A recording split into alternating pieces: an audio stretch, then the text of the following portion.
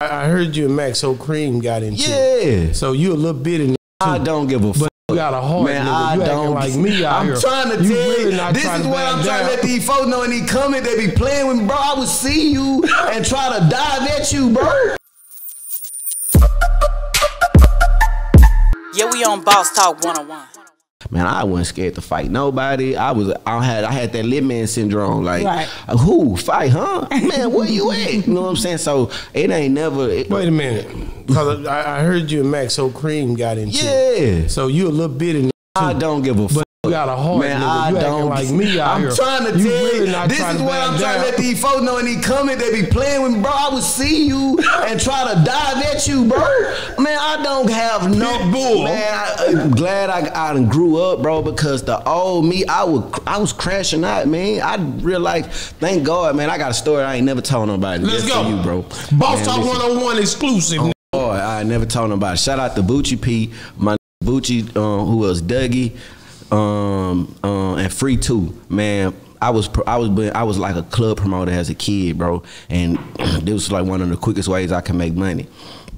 Boom. We had a little older dude named Tucci. His name was Two. He, he he locked up right now. So he had a lit, he had us doing some lit criminal ass. Right, man. I was so young at this time. He was like, it was like we was in. I forgot exactly how old I was, but we was in a little part of the area in Houston on north side. We was up early in the morning, man, and we was trying to get some money, and we seen a taxi. It was a taxi, bro. Like we was in the car. We was we was following behind the taxi. And the taxi had somebody in the taxi, so they was finna they was finna drop they was finna um drop off the person in the taxi, and while we behind them, and we all in the car was like, "Hey, bro, when he pop when he dropped the taxi off, we gonna hop out and rob him." You know what I'm saying? On guard. I'm like, big, big. So I'm the dude at that time. I'm the one with the gun because I'm trying to be the. I'm him at that moment. I'm him. Boom, nigga. He hopped, dropped, hopped out. Whoever was in the backseat hopped out the taxi, and um, we we amp. No, he pulled the car in front of the taxi so he couldn't drive. I hopped out with the gun, trying to aim at him, and tried to shoot him. No lie, the gun jammed. I wouldn't even be here right now, bro. Damn.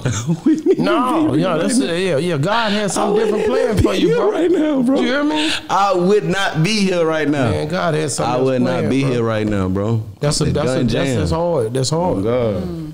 Yeah, I gotta- yeah. So you know, a lot of times when I'm on, because I Sauce would win and he pops up on my um, timeline and stuff like that. And I remember one time I saw a lot of TSF doing acting, and y'all doing different roles. And I know you've been in different roles Yeah, as I well. got two movies I'm in right now. Yeah, I was about to say. So Y'all how go did shout you them out on get? True. Yeah, Yeah. yeah, that whole um, viral right How now. did you get into acting? Man, how did I get into acting? Um, first off, Cash. I got to shout out to my brother Cash McIntosh.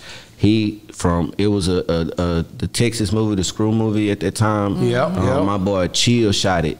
Chill shot it. Cash and Chill are partners and friends, and they needed a um a North Side dude for the lead role. And at that time, like I say, when it comes to the North, I'm for sure. If I ain't top one, I'm top three. That you gonna think about on the north, regardless if you don't jam my mm. music or not. You got to think of Rizzoo Rizzoo on the north mm-hmm. side holding it down, mm-hmm. regardless. So Cash and Chill put me put it together, and I end up on the Screw movie.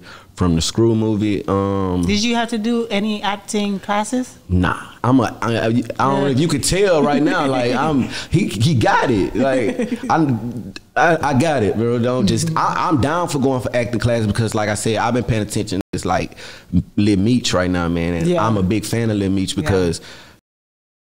Was was even paying attention to Lil Meech.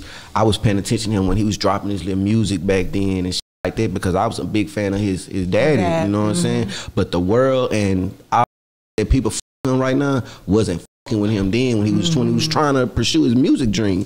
50 grabbed that boy up and now he the hottest thing around is doing acting. So I I tell my manager all the time, hey man, I don't give a f- what it is. If I hit tomorrow on acting, I'm hanging this music shit up. Mm-hmm. I'm gone. Yeah, we on Boss Talk 101.